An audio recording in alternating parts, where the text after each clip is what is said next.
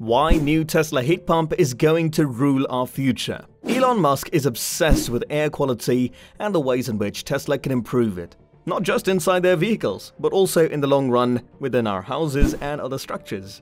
Heat pumps have been around for a long time, but have only really started becoming common within the last 10 years or so.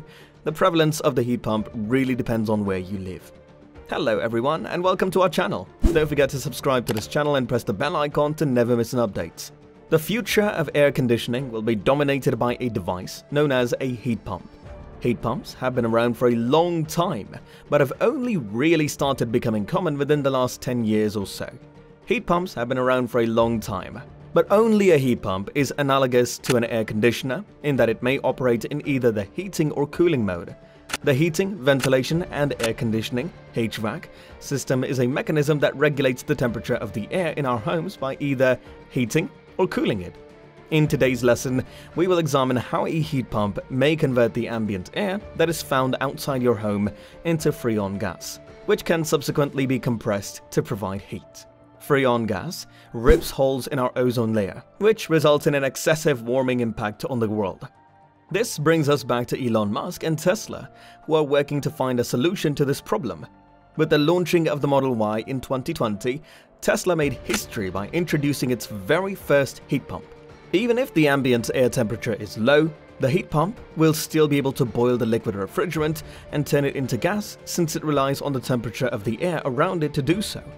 Heat pumps accomplish Elon Musk's goal of moving the globe towards sustainable energy and his goal of increasing efficiency. So it should be no surprise that he is interested in this particular area of technological advancement. Andrej Karpathy, who was once the head of artificial intelligence at Tesla, always had a CO2 monitor on him. And Elon Musk has one that sits on his desk and notifies him if the levels get beyond 1000. The heat pump's local heating loop helps expand the temperature range.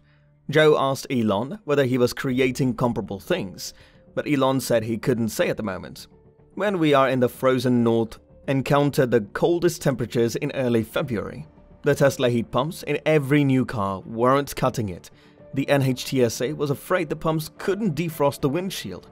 Tesla updated the pump's firmware to remedy the issue, having high efficiency air cooling, electric heating, and air filtration in one device with firmware upgrades. Sounds great. Elon says it will be released soon. Tesla heat pumps apparently fail in the cold. He thought heating and cooling systems might be more efficient. He suggested a smart home system that links with your car to know when you leave and return and adjusts the temperature, so the house won't waste power at a comfortable temperature while no one is home. Musk plans to build a silent, energy-efficient HVAC system with a HEPA filter by 2020. Elon wouldn't tell Joe whether he was working on something similar. The local heating loop expands the heat pump's temperature range, Tesla makes two home-sized products. Musk thinks Tesla can outperform household heat pumps.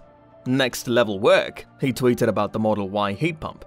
An impossible-to-build heat exchanger was developed using PCB design. Local heating loops let heat pumps ramp up quickly and give a wider temperature range. Musk, Tesla's octovalve is fantastic, don't credit me. Last winter's firmware upgrade likely addressed heat pump troubles in cold temperatures. We would like to hear from you in the comments below. Make sure you are subscribed along with turning on the notifications. Thank you for watching and hope to see you back in the next video.